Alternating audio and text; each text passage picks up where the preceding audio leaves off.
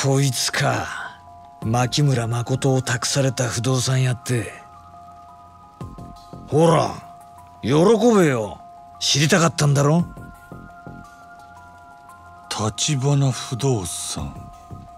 桐生一馬。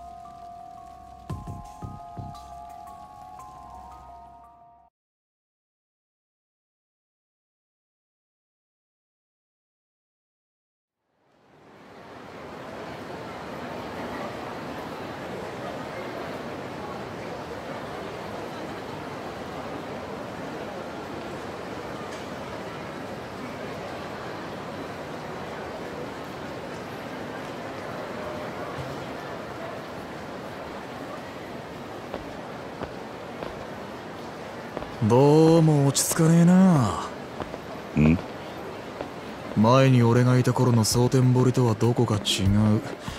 似て非なるものって感じか。あんた蒼天堀にいたことが？カムロ町に来る前は俺も立花社長もこの町にいた。ほんの1年半くらい前のことだ。その頃の俺らはマフィアと名乗っちゃいたけどほんの45人の所帯でね。ただ社長はその頃から近江のヤクザにさえ一目置かれてた。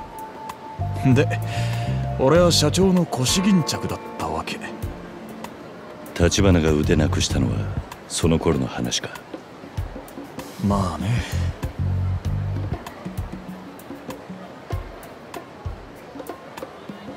当時組んでたやつが今小副長にしてちょっといかがわしいビデオショップやっててな。キャルって名前の店だお前先に一人でそこに行っててくれるか。話は全部通ってる。俺はその前にちょっと寄るとこがあるんでね。寄るとこ？この町の今の様子を知っておきたい。蒼天堀で動いてたうちの人間と情報交換してくる。渋沢組と近江連合の動きも少しはわかるかもな。そうか。お前にはビデオ屋でセラって男からの電話を受けてほしいんだそいつが今例の牧村誠をかくまっててね。電話で彼女を引き渡す段取りを伝えてくる。セラってのも立花不動産のもんか。いや東上会の人間だ。日教連って組織のな。日教連。聞いたことねえな。俺もよくは知らねえがそのセラって男は風間の親分さんと通じているらしい。うちの社長が掴んだ情報をもとに蒼天堀で牧村誠の行方を探してたんだ。なるほどな。で要するにあんたが街をぶらついてる間俺は電話番ってわけか。そういうこと。じゃまた後でな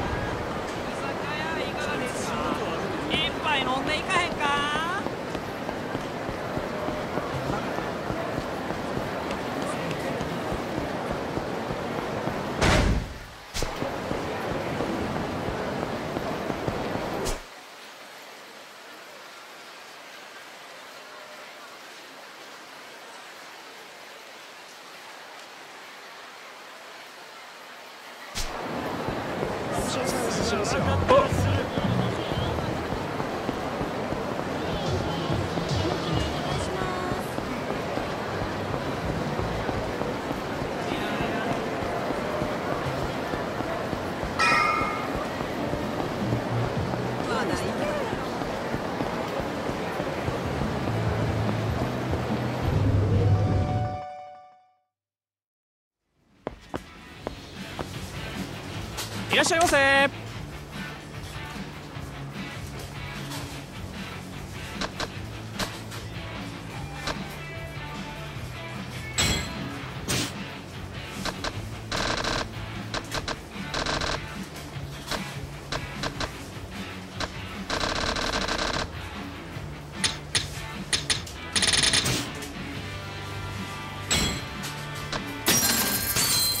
ありがとうございました。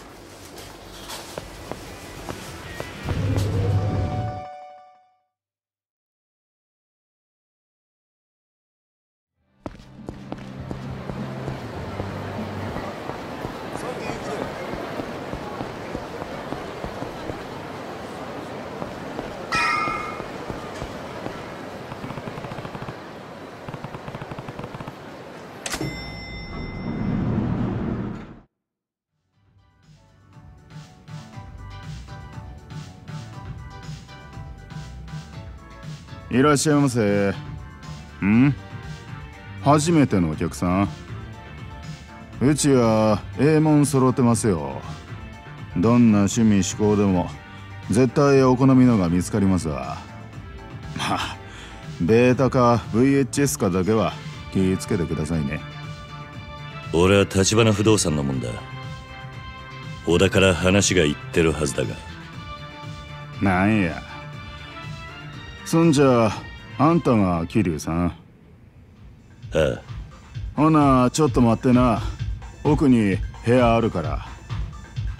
ん？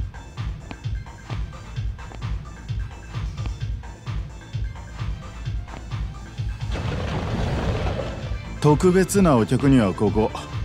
中に電話もあるで。セラいう人からの電話がそこにかかってくる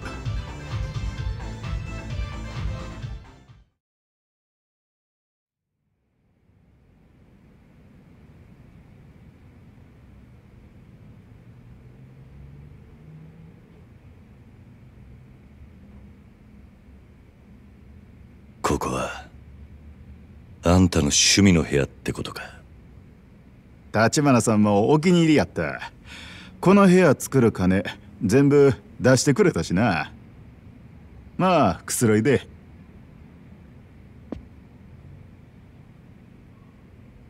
ほんで立花さん元気しとる？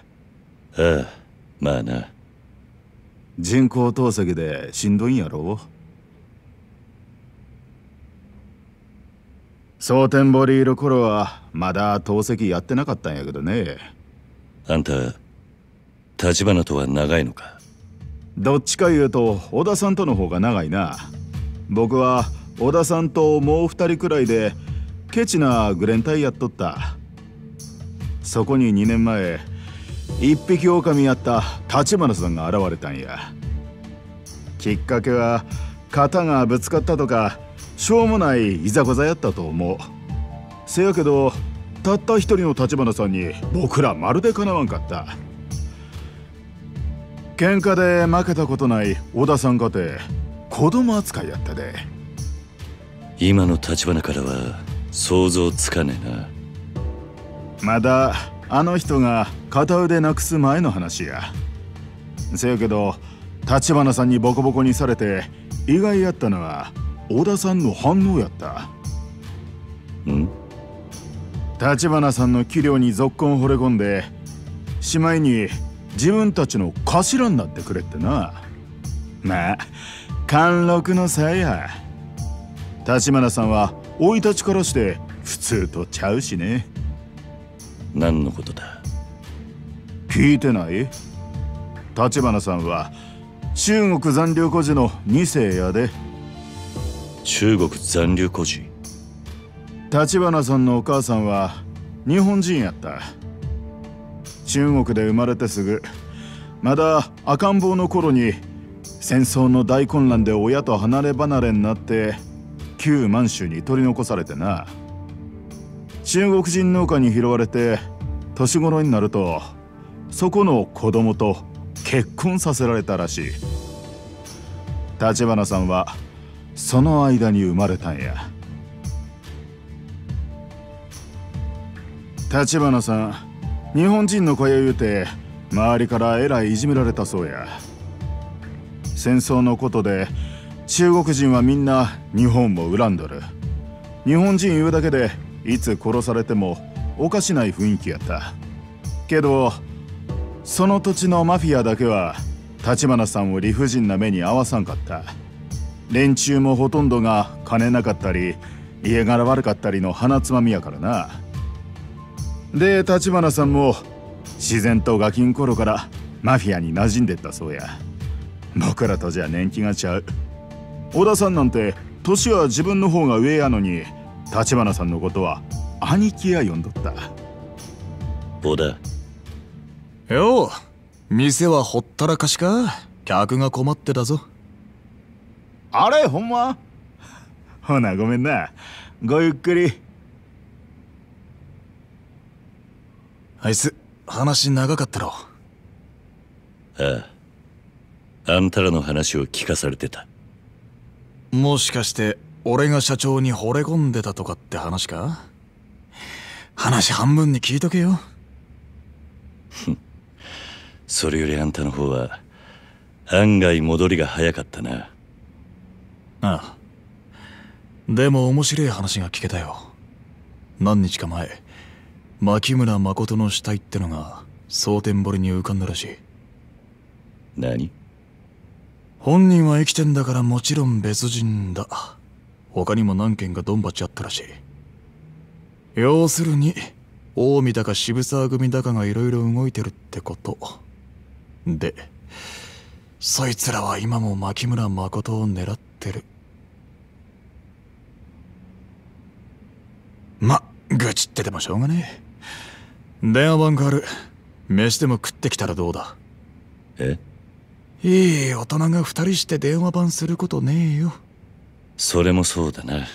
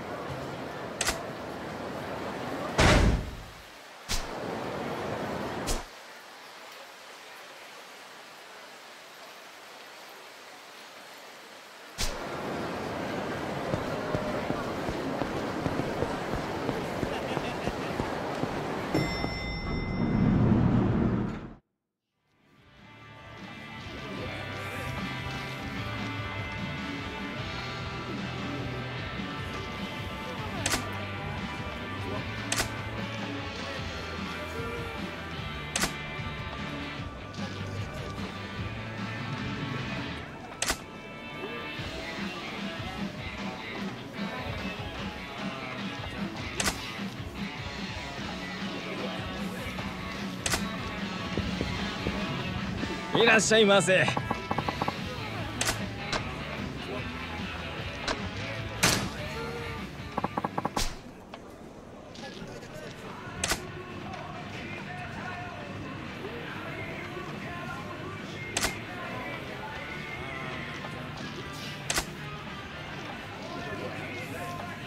いらっしゃいませ。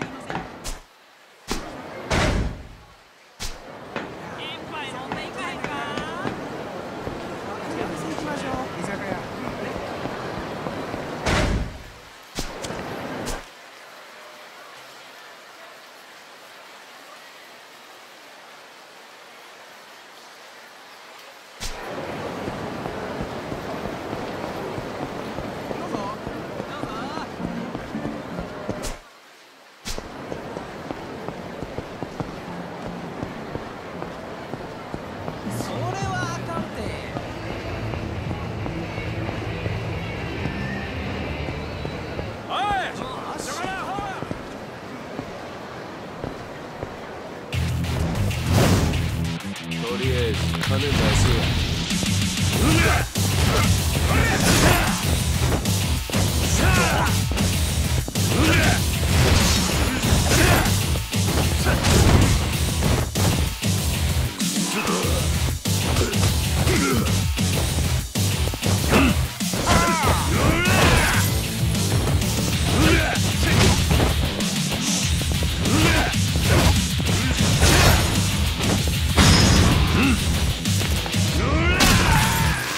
Yeah!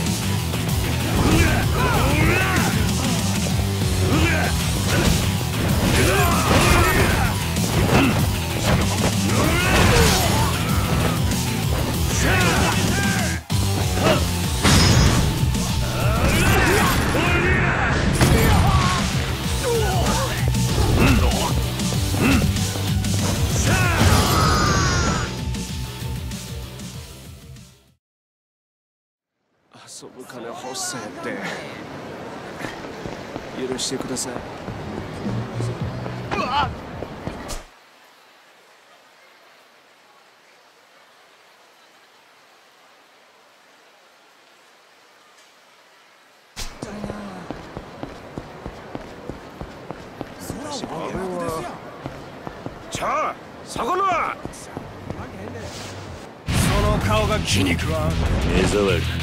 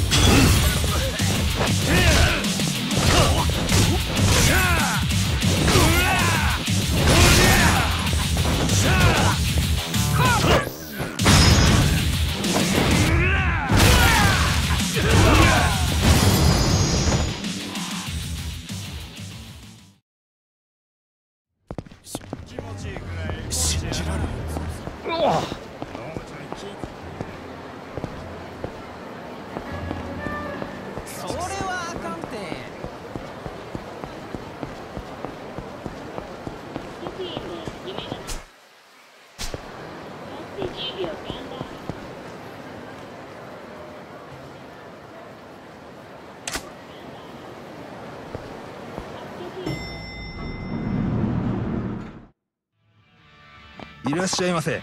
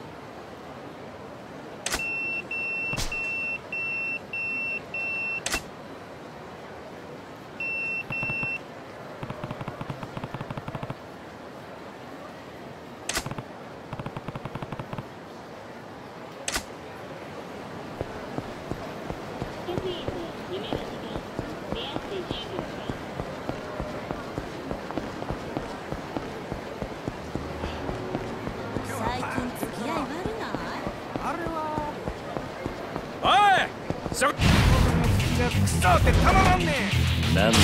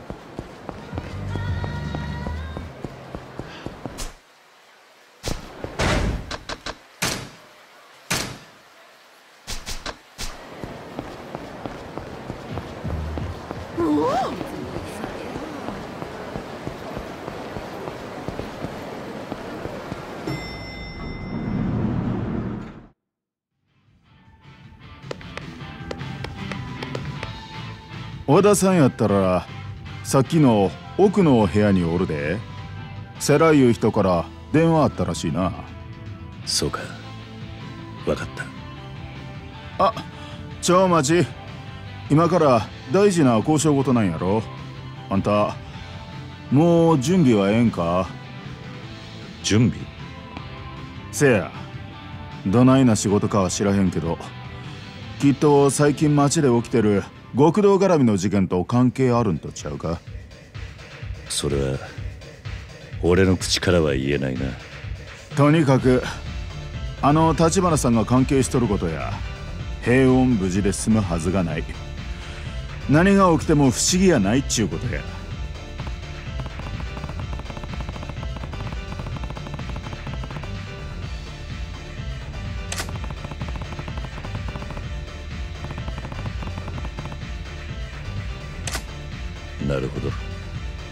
それはそうかもしれないな。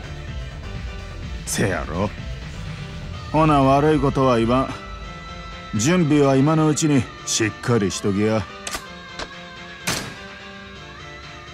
大丈夫だ。準備はできてる。そうか。ほな入り。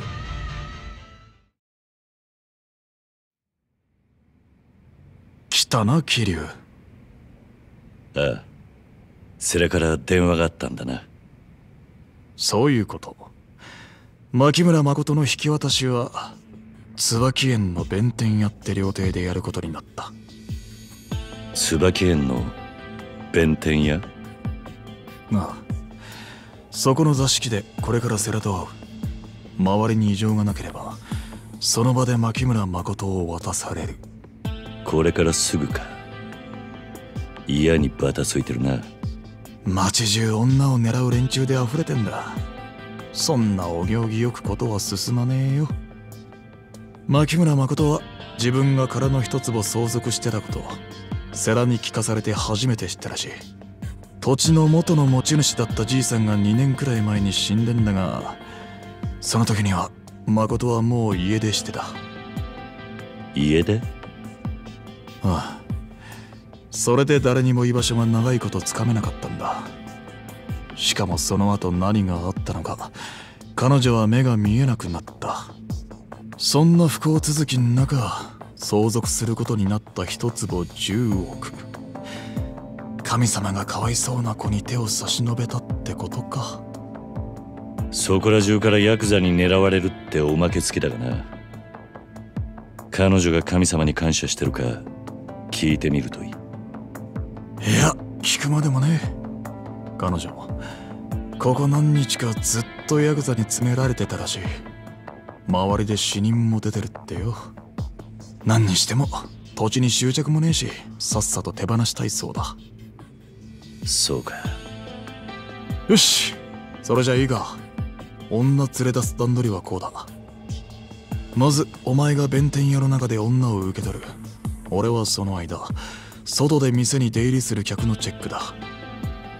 で弁天屋を出たらまず京都まで行く。そこから先は新幹線だ。新大阪から乗るのは危ねえってことか。一応の用心だ。近くの駅は渋沢や近江の連中に見張られてる可能性がある。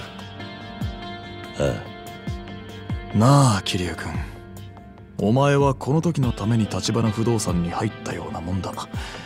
いよいよしっかり働いてもらうぜ。何が起きても牧村誠を守りきれ。殻の一粒さえ手に入りゃ風間の親分さんを守る道も見える。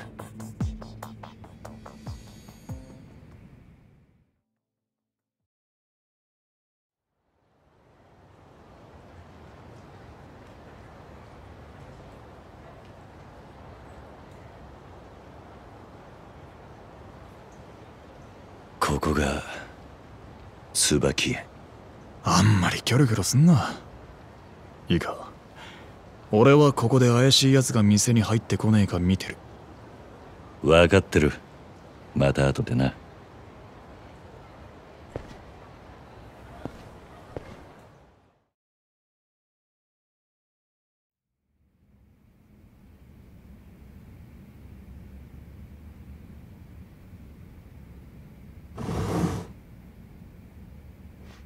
橘不動産の桐生さんです。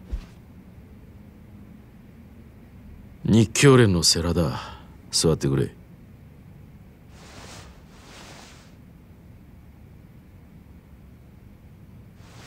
橘不動産の桐生です。前から風間さんに聞いてた。それにお前の今の状況も全部承知してる。ただ今世間話の時間じゃない。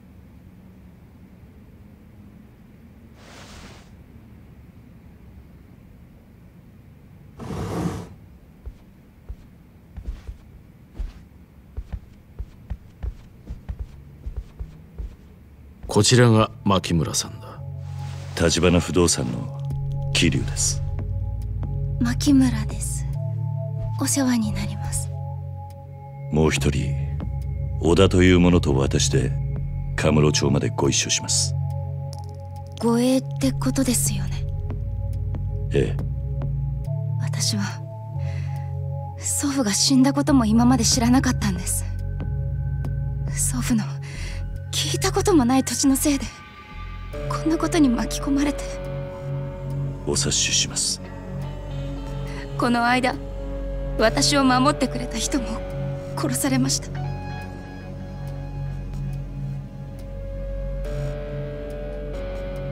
ずっとお世話になっていた人が。お金なんてどうでもいいです。早くその土地を手放させて。お願い。わかりました。橘さんによろしくな桐生。え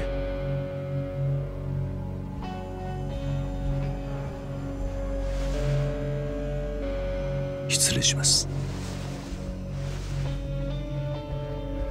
それじゃ。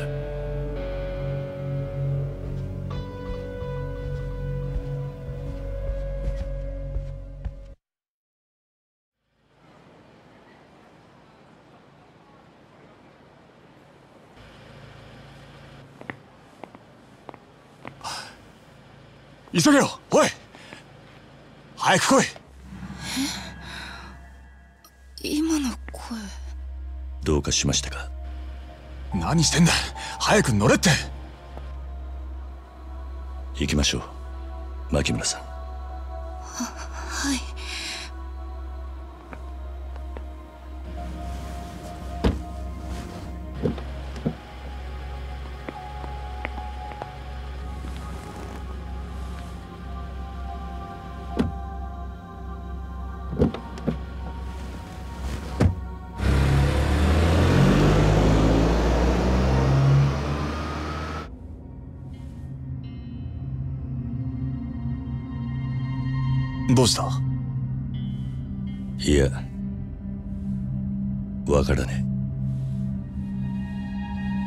申し遅れました。桐生の同僚で踊っています。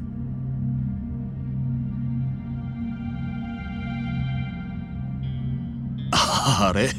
なんか嫌われちゃいましたかね？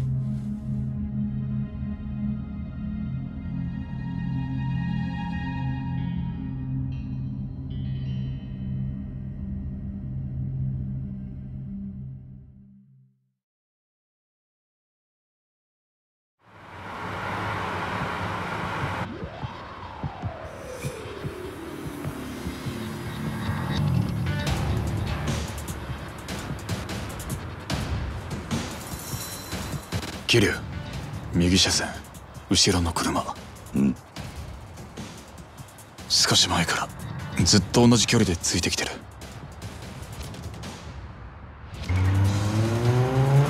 スピード上げてきた。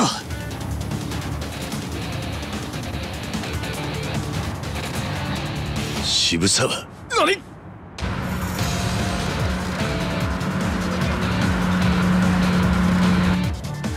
くそ気づかれてたおい飛ばせ！ははい。何が起きてるの？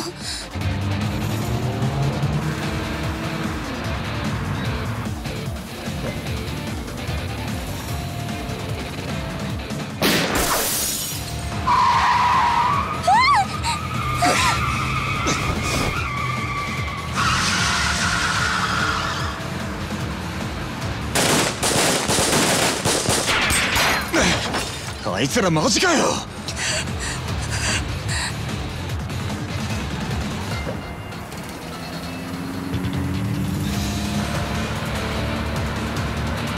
キル殺すお前なんでこんなもん？言ってる場合じゃねえだろ。さっさと落ちまくれ。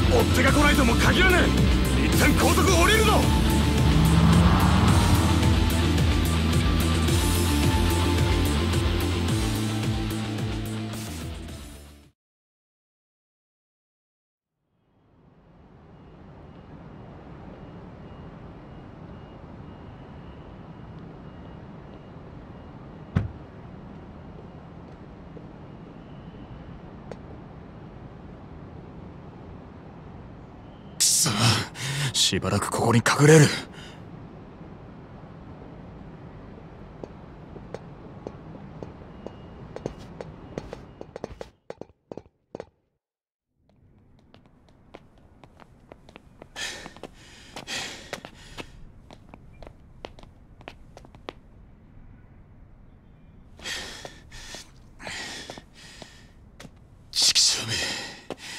渋沢はどっから俺らのこと気づいてたんだ。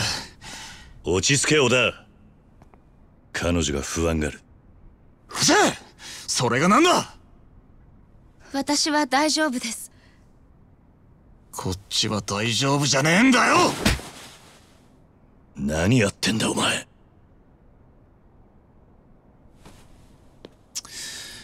下の様子を見てくる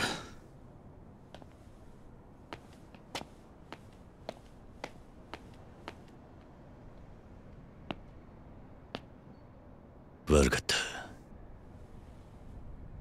あんた怪我してないか？痛むところは？桐生さんでしたよね？ああ。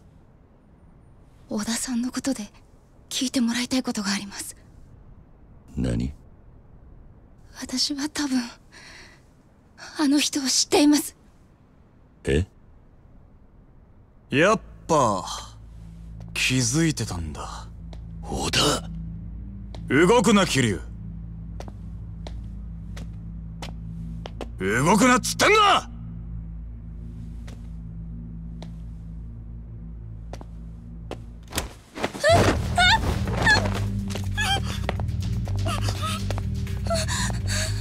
何してんだ？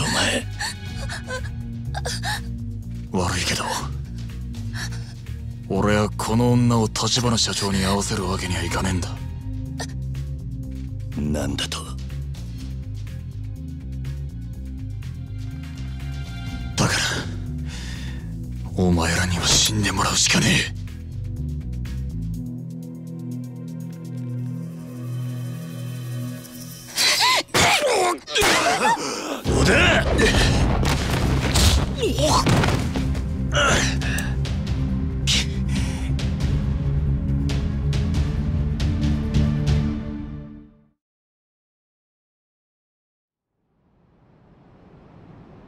大丈夫か？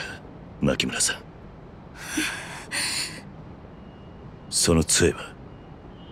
世良さんから万一のご信用にって。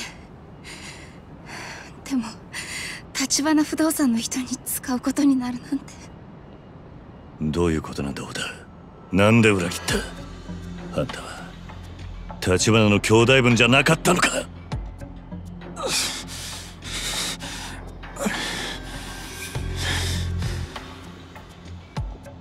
桐生さん。その人の左腕入れ墨が入ってませんか？コウモリの。小田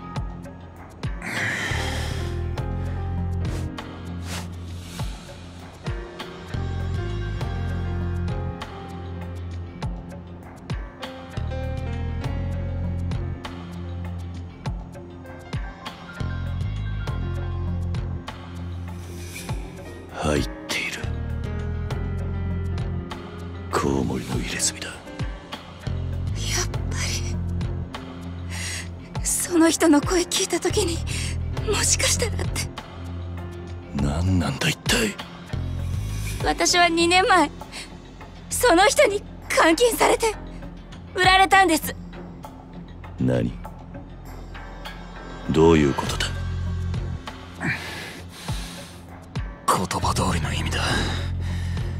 その女にしてみりゃ俺は殺しても殺し足りねえってやつだろうさ。だから俺ら二人とも殺すってのか。立花と彼女を合わせられねえってのは何だ？意味がわからねえようだ。どういうことなんだ？一から説明しろ。小田分かったよ。話す。この入れ墨は俺が頭張ってたグレン隊のメンバーの証だ。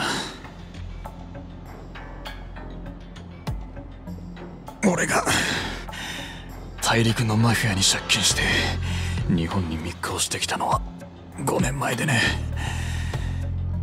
それ以来この町で金になることなら何でもしてた盗みもやったし叩きもやった。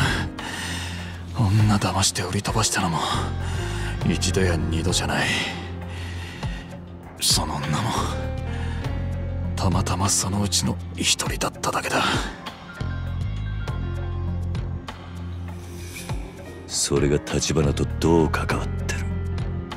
俺が立花さんと出会ったのはそれからほんの少し後のことだった。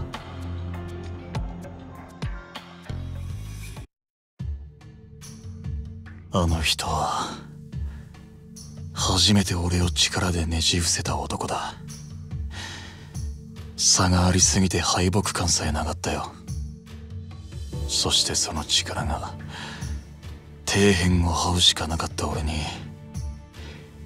夢を見させてくれたんだ。俺はあの人に兄貴になってくれって頼んだよ。俺らの入れ墨も入れてもらった。プライドもクソもねあの人をみこしに担ぐことが俺の役割だと知っただけだ。なのに立花さんが片腕をなくしたのは俺をかばってのことだった。敵対グループに不意打ちされてね。その時俺は立花さんだけはこの先も絶対に裏切らねえと誓った。だがよそう思った矢先だ。俺は立花さんと一緒にあのことを知っちまったんだ。テレビで中国残留孤児の特集番組がやっててそこに何年か前の古いニュース映像が流れた。日本に肉親が見つかったって残留孤児が来日してる場面だった。その子の姿見てすぐに思い出した。俺が最近韓国系の組織に売り飛ばした女だってな。年頃も合う。それだけなら笑って済ませるとこだ。でもよ。母さん。シャオちゃん信じられなかった。俺が何の気なしに地獄に突き落とした女は俺が心底尽くそうと思った兄貴の生き別れの妹だったんだ。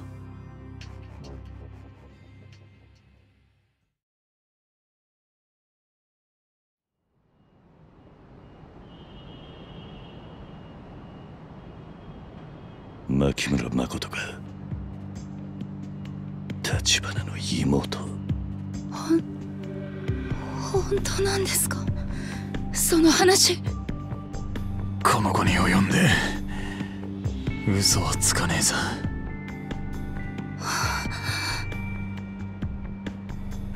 取り返しがつかなかった。いくら過去のことでも立花さんは俺のしたことを許しはしねえだろなら俺がやれることは二つに一つ。破滅を覚悟で社長にあんたを会わせるか。もう一つ。あんたの存在をなかったことにするか。それがお前が大阪についてきた本当の理由か。ああ。俺の他に誰も俺がその女を殺す動機を知らない。渋沢組か近江連合に殺されたといや俺が疑われることはね。けど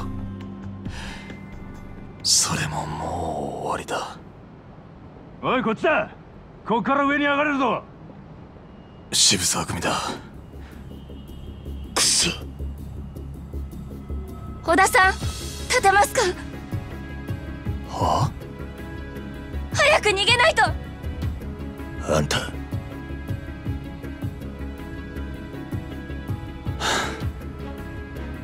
まだ俺と一緒に逃げる気か？ったく。どこまでおめでたいんだよ。桐生銃くれねえか。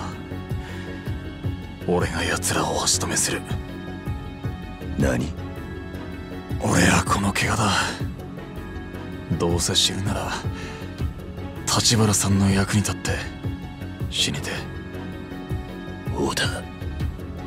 虫のいい話だけどさ。あの人に俺がそう言ってたって伝えてくれねえか。俺は本当に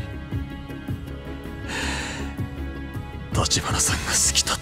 ってだが無茶はすんな。そうすりゃ命までは取られねえはずだ。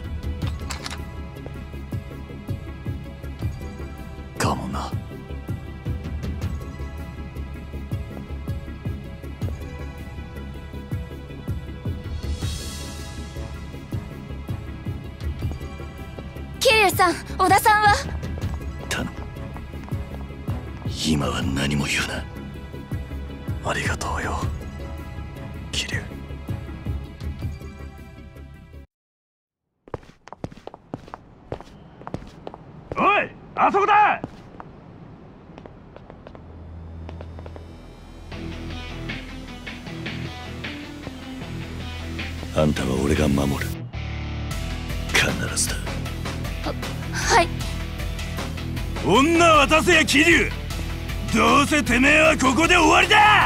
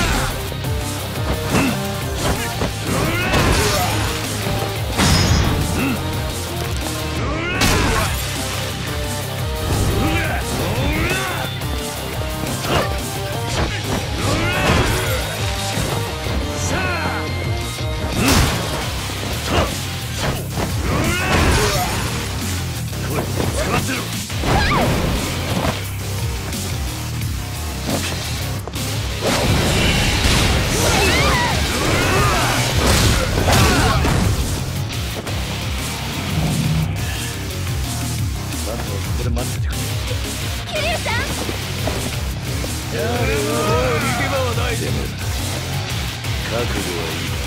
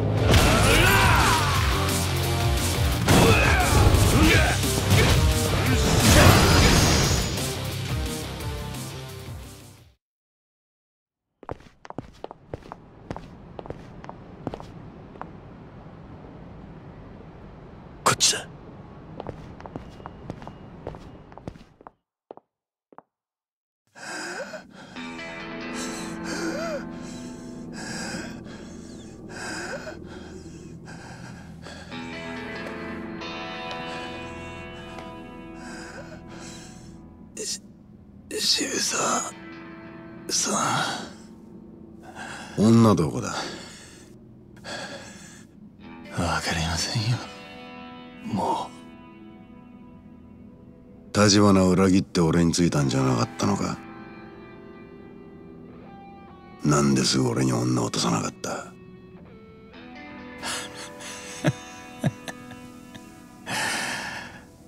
あんたらが世良に先越されたからでしょ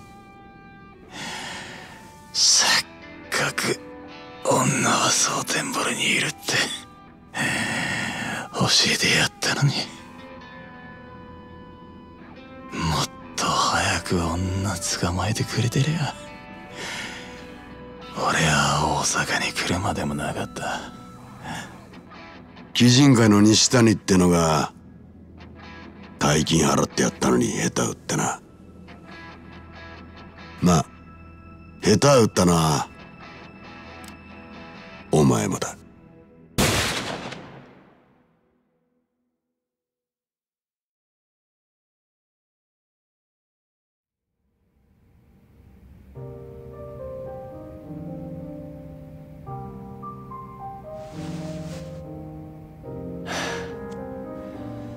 何もしねえから安心してくれ。目立たねえとこに泊まりたかっただけだ。分かってます。兄は今どんな人ですか？普段はえらく冷静な感じだ。それに頭が切れてめったに感情を出さない。そう。私の知ってる兄とはだいぶ違うみたい。あんたはいつからあいつに会ってないんだ？10年前。私は10歳で兄もまだ15だった。なのに兄さんは私と母さんを捨てて日本に大阪に行くつもりとまでは聞いてた。そっか。だからあんたは蒼天堀にいたのか。立花を探すために。2年前東京から家出して蒼天堀で私中国人を見たら兄を知りませんかって聞いて回ったの。でもその中にコウモリの入れ墨の男が。小高あの人は私の探している兄に心当たりがあると言ってた。それでついていっちゃったの。けどさっきのあの人の話だとあの時兄を知っていると言ってたのは嘘だった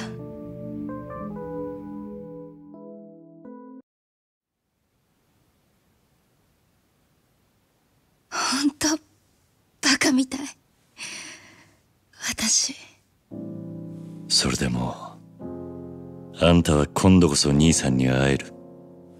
カムロ町でな。兄がどんな風に変わってしまったのか少し怖い。私の知っている兄は強い人じゃなかった。中国にいる時私も兄も日本人の子だっていじめられてた。映画館で暗くなるとね周りの席からみんなが唾かけてくるの。上映中ずっと。私も兄も怖くて動けなかった。兄は自分の身を守るためにマフィアになるしかなかったんだと思う。そして中国を出たの。私の方はそれから何年かして日本に祖父がいると分かった。母は堂々と中国から出られるってすごく喜んでた。私も同じ。ただ日本の祖父が優しく迎えてくれたのは最初だけ。え？だって家族なのに全然言葉が通じないんだもんだから私は中国語を忘れるくらい日本語勉強して祖父にも日本にも馴染もうとした。でも母は日本語を覚えられないまま自殺しちゃった。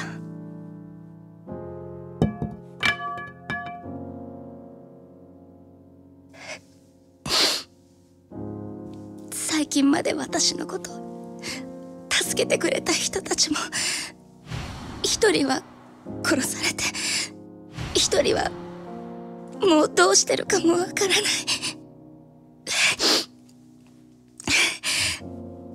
私の人生ひどいよね。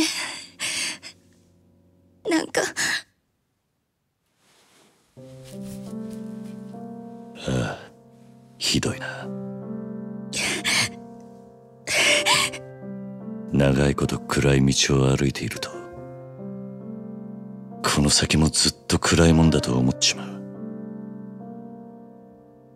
前に進むことが嫌になる。自分の道がこの先どうなってるか分かってるやつなんてこの世に一人もいねえ。俺らにできるのは立ち止まって泣くか。一歩でも前に進むかの二つだけだ。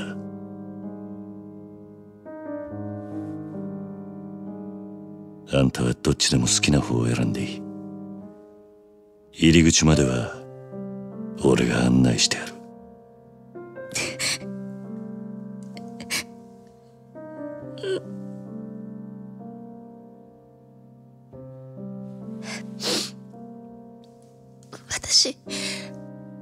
室町に行きます。兄に絶対に会いたいんです。だから私を連れてってください。桐生さん。